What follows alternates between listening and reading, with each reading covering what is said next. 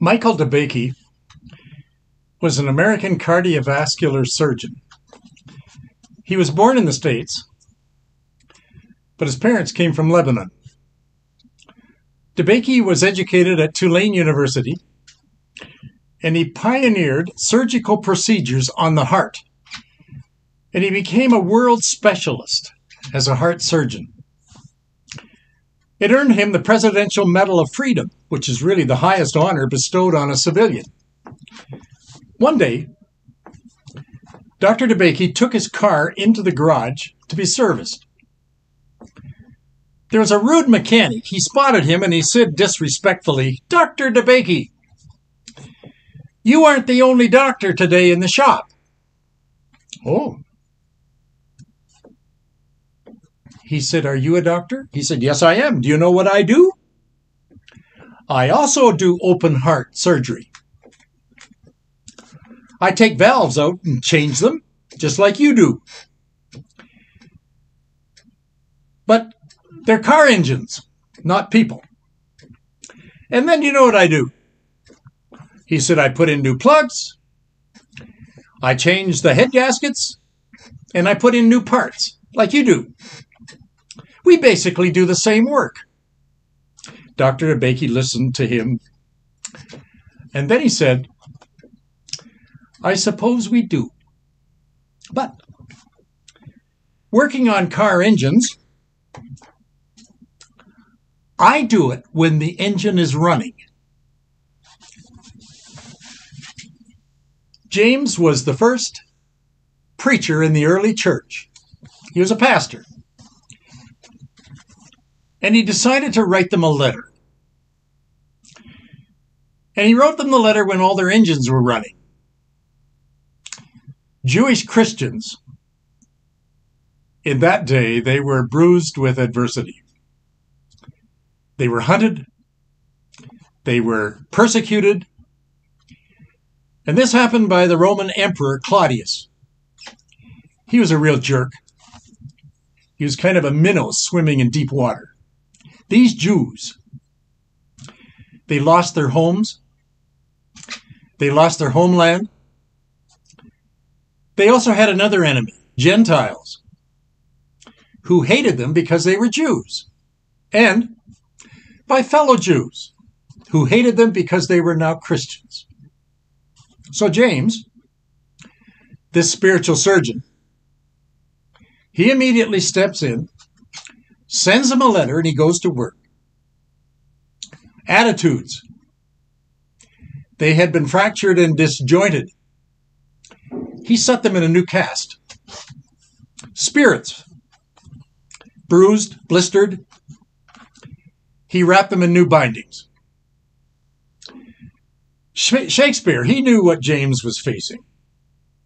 He wrote, A wretched soul is man, bruised with adversity.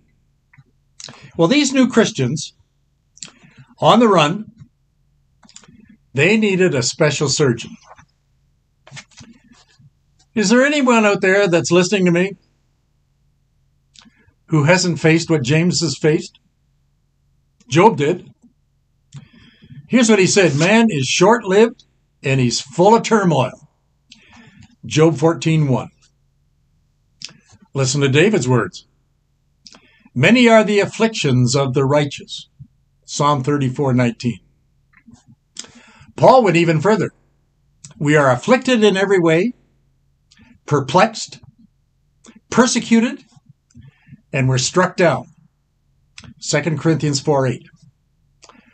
Paul was a wounded deer, running from the hunter, leaving a bloody trail behind him. What about you? Have you faced any of these trials? Have you gone through an unfaithful marriage?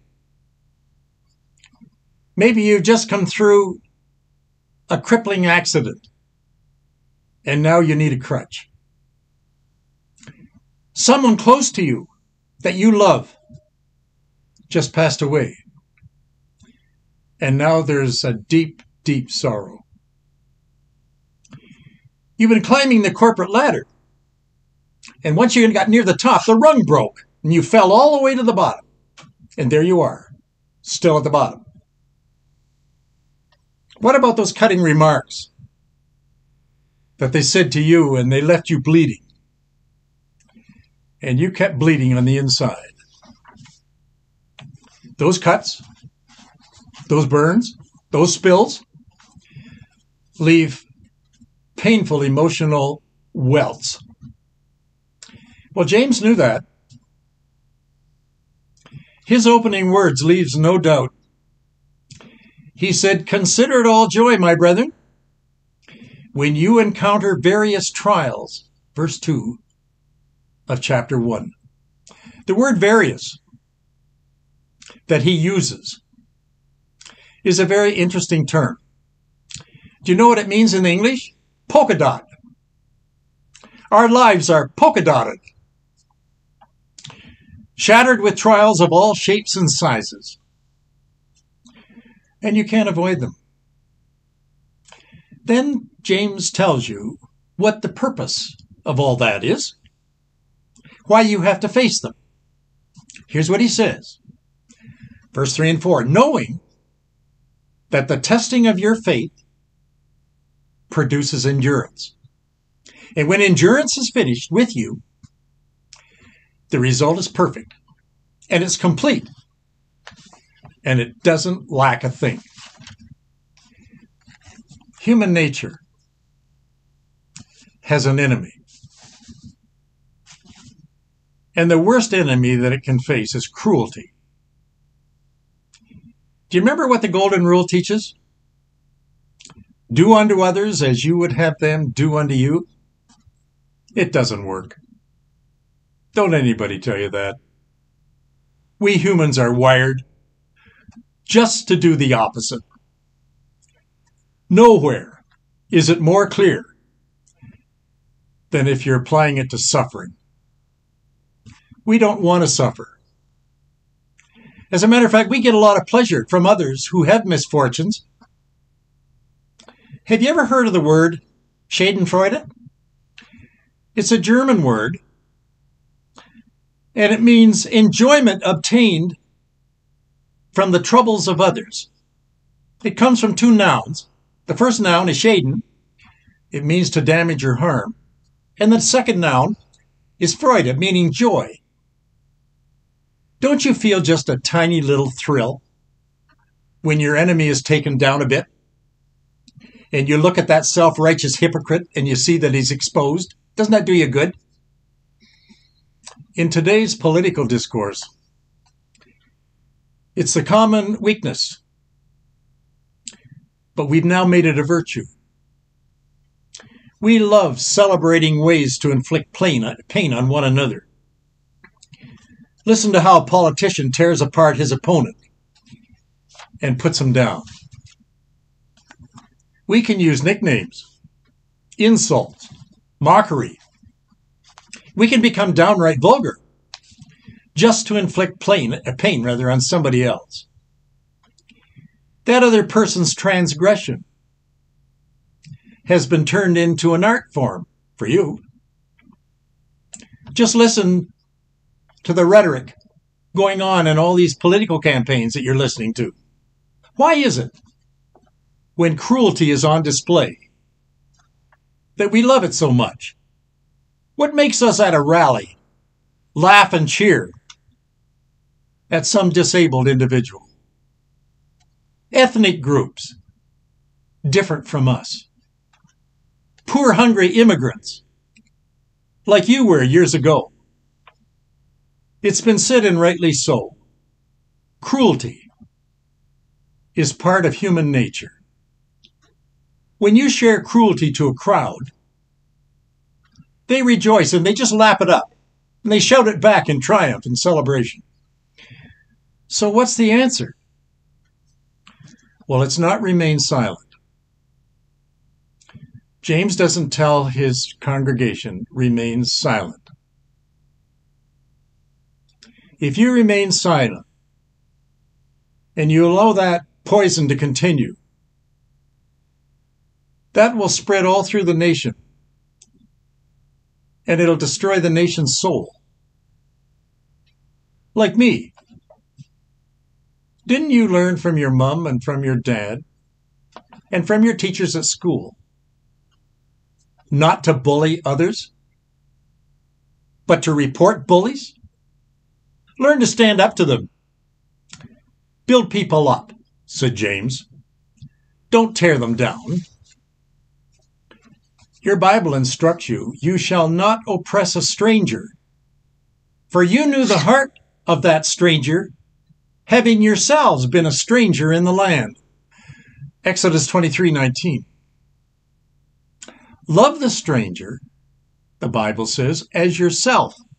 Leviticus 19:34. These words are repeated 30 times in the Old Testament. In our culture, cruelty makes witnesses afraid to stand up. It's easy to be enveloped in a cloud of shame. When you see somebody that opposes hate and you do nothing, when that happens, our social fabric frays, and then all of us are at risk. That's what James says. Do you know what the word testing means? That James uses? I'll explain it to you. It comes from the Greek word dokimos. It means approval. Verse 3 of chapter 1. If you're an archaeologist and you're doing a dig in ancient Greece, chances are you're going to unearth some ancient piece of pottery. Could be a bowl, might be a vase, might be a precious piece of cookware. And on the underside of your discovery is a word imprinted by the potter, and it's the word dokimos, approved by the maker. The symbol meant that the piece had gone through the furnace and it now has no more blemish. And James is saying that you and I we're vessels. We've been created in God's image, and we've gone through the fire, and we're now mature. No cracks, fully approved. God put his stamp of approval on you. Trials produce endurance. That's what the verse 4 says. Testing brings about maturity. That's God's ultimate purpose that he has for us in our lives. Now, watch what James does in this letter. No one knows how many received the letter. Nobody knows where this letter was sent. And we don't know who read it. But we do know when they received the, the letter, all their engines were running. In verse 12 of this first chapter, James is going to give them an energy drink. It'd be the equivalent today, probably, of our Red Bull. I'll read it for you. Blessed is the man who perseveres under trial. For once he has been approved, he will receive the crown of life, which the Lord has promised to those that love him. James tells these early Christians they're going to receive a promise, and it's going to be a crown.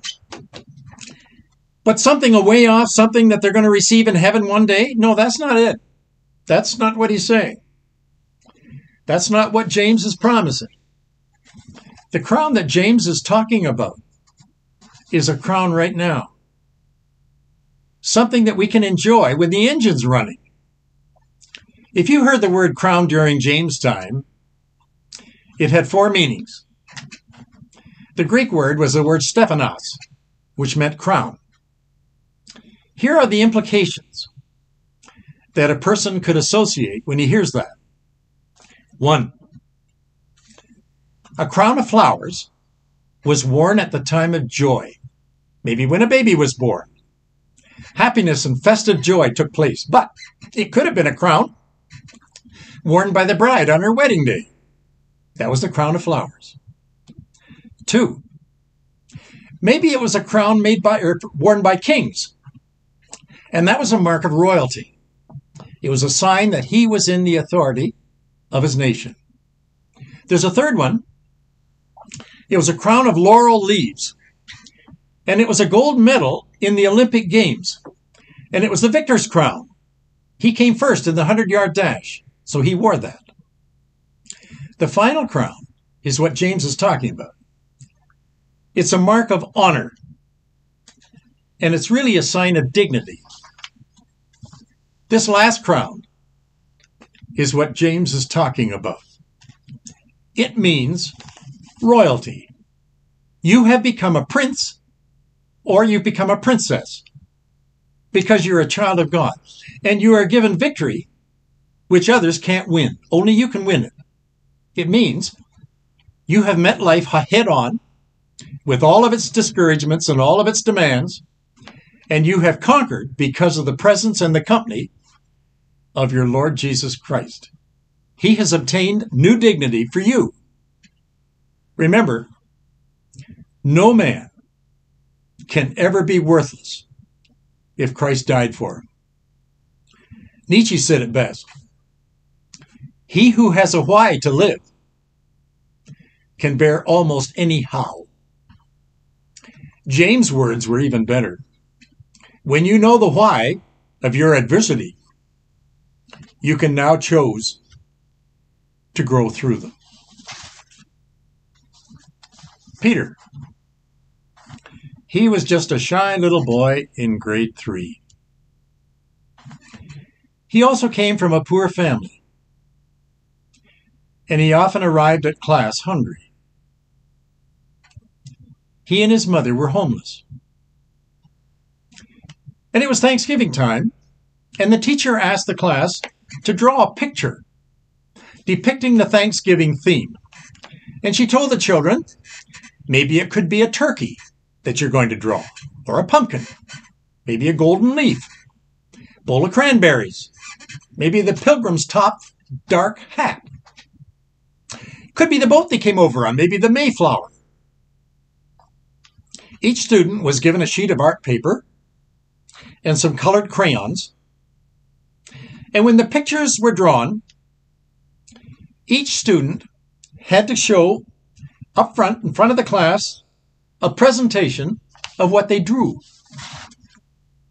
When all the pictures were completed, the teacher came to the front of the class and she displayed all the works. One by one, as she held up a pitch, they would come up and describe what they had and what they did. The class interpreted each presentation. When Peter's turn came, he came forward and he held up his paper. And when he did, the class just giggled. On his sheet, he had drawn a simple hand and an arm outstretched. That was his Thanksgiving gift. Well, the teacher quickly took control. And she said to the class, Peter, in this picture, must be thankful for something. Before he tells us what it is, let's us try and guess. What do you think Peter is saying with this picture? One by one came the answers. Well, it's a policeman's hand. He's helping somebody. Another one said, Nope, it's a fireman. He's just come from putting the hose back in the truck. Another one said, No, it's a doctor's hand. He's going to put a bandage on the sore. Another one said, No, it's the preacher's hand. He's holding it up to seek forgiveness for somebody. Everyone guessed. Finally, the teacher turned to Peter and said, Peter, whose hand did you draw? Peter paused. And then he looked at the teacher and he said to her, Teacher, it's your hand that I drew. Again, the class just giggled. And they derided Peter's comment. And then Peter spoke again. He said, Do you remember at recess when I was all alone in the field? Behind the baseball diamond under the tree? Nobody played with me. There wasn't one person on the whole field at recess that even cared about me. I sat there by myself all alone. And then you came. And you came and found me. And you took my hand. And when you took my hand, you didn't let go. You told me what nobody else said. You told me that you liked me. And that one day when I grew up, others are going to like me too. Your hand that I drew, I'm thankful because I'm not scared anymore. In verse 16 of James, chapter 1, James holds the hands of all his followers. And in his letter, with these words, he tells them, Don't be scared anymore. Dear friends, don't be thrown off the course. Every desirable and beneficial gift comes to you from heaven. Your loyalty and love for God is going to be your reward for life. Isn't this fellow James, the preacher way back there in that first century, an amazing man? Well, next week when you come back, there's a lot more there I want to show you. And there's a lot more we're going to learn together. See you then.